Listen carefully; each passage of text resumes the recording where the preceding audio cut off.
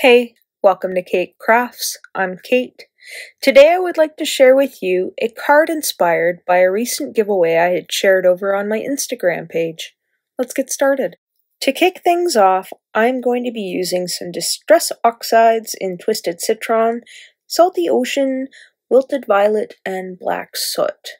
So I've taken the Twisted Citron and created a blob. Now I'm going to take some of the salty ocean and create another blob over here and then another blob over here and I'm not being careful about the blending as I join the blobs together because this is kind of going to be a mess and when I was making this mess it was kind of like okay so I think this is how it's done. We're gonna try it and see how it goes. So as I'm creating this I'm thinking uh I'm not 100% sure, so I bring in some wilted violet, and I'm still not 100% sure what I'm doing here. And I know I just have to trust it because I watched a few different videos and looked at some different cards, uh, you know, not too long ago, and I thought, oh, you know, it be, might be fine to, or it should, I should say, it might be fun to try and make like a galaxy background, uh, as I've never really, I guess, made one before. So once I've gone in with my three bright colors, I'm going to take some of the black soot and I'm going to go around the borders of each color where they touch. And I'm not too particular or too fussy about how this happens because this is all going to get a little muddy.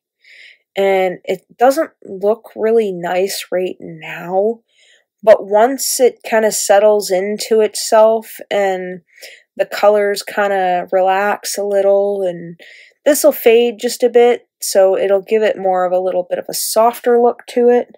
Like at this point I'm kind of thinking like this kind of looks like garbage. I honestly thought this process that I was doing looked like garbage. So I'm working with the colors here and trying to blend them in and not totally contaminate my oxide inks here, but I just I I, I didn't trust myself with this and I didn't trust what I was doing, but I just kept motoring on and I just thought this looked god awful. to be honest with you, I just I thought this looked awful. so I, th I think it's just because it's it's very chaotic to me and it doesn't hold the type of order I require. So I've set that off to the side and now we're going to take the year 11 stamp set um, that I have here, and we're going to add in some of Out of This World, I think it is. Yes, these are the planets from Out of This World. I, I had to double check my notes. So I'm just picking out a couple of the ones that I think I really like or that will kind of go along with what I've got going on here. And once I've picked them out, I will stamp them off and then we're going to get into some coloring. So I went through my Copics and tried to pick two of each color. We're not going to go overboard with blending because these images are small, but I wanted to have the same bright colors in the planets that I'll be using on the cards that match the galaxy background. You know what I mean? So I've picked up some YG13, some G14, and then we've got the B2, the BG45, the V15, and the V17. Um, I found that the BG45 and the B2 and then the YG and the G, if you were blending them out in bigger areas, you might have to work with those ones a little bit more to get a better consistency with the blend. Um, you can kind of see between the two here.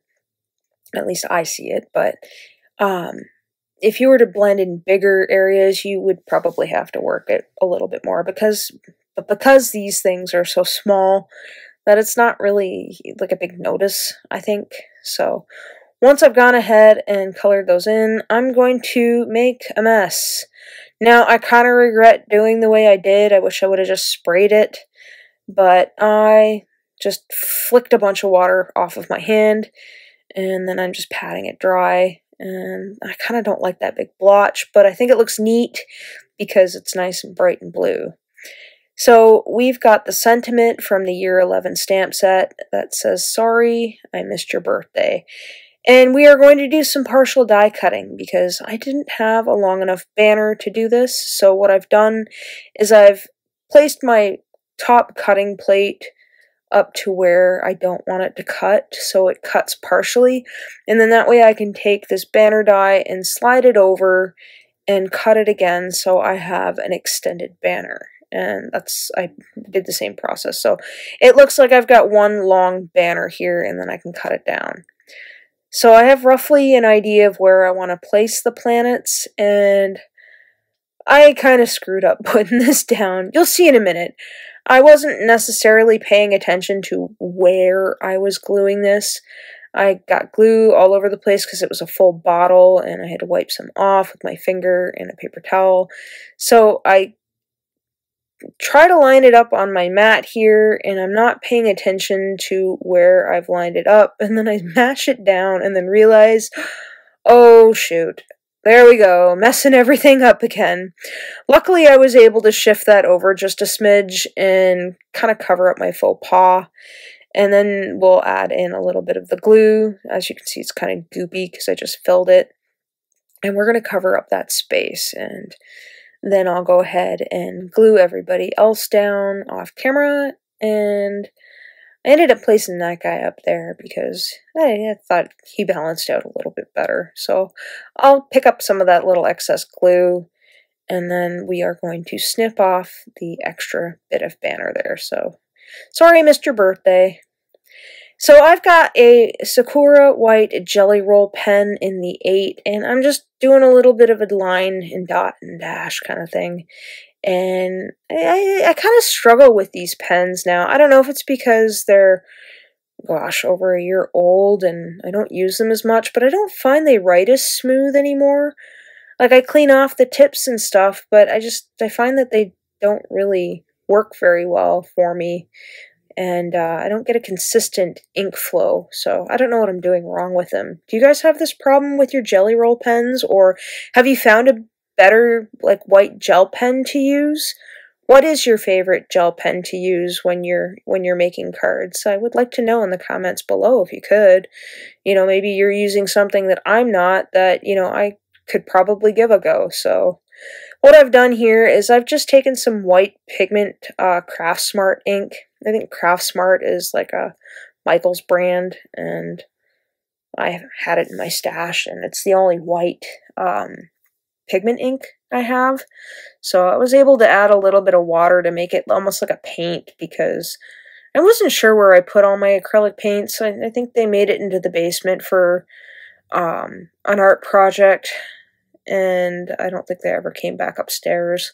So I just decided to use what I had on my desk. So I've gone ahead and made some stars, and now I'm just taking, uh, making a bunch of dots with this stupid paintbrush.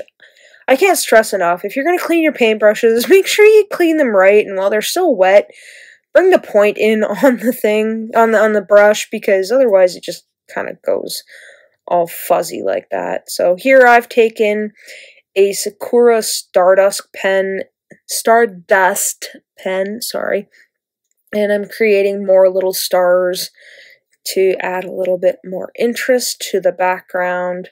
That way it gives it a little bit of a sparkle and a shimmer when you move it and it's not just bland. So I kind of like how the background is now with the water splotches and all the the coloring on it. So I'd adhered the Gotta Have Gingham paper to a four and a quarter by five and a half card base, and then I've added some foam squares to the back of the card panel. Now, if you haven't gone over to my Instagram page, I am running a giveaway where you have a chance to win the Year 11 stamp set, a couple of sheets of the Gotta Have Gingham, as well as a mini notebook two pack from Lawn Fawn and uh, that's running, I think, until April 1st, 2023. So if you haven't entered yet, head over to my Instagram page where you have a chance to win. I'll make sure to leave a link to the giveaway in the description box below if you'd like to enter. And once I've added some HAI Supply diamond clear jewels, my card is complete. And I had to add this to the inside, of course, because it is a funny stamp set. And as always, Thanks for hanging out with me today. Take care.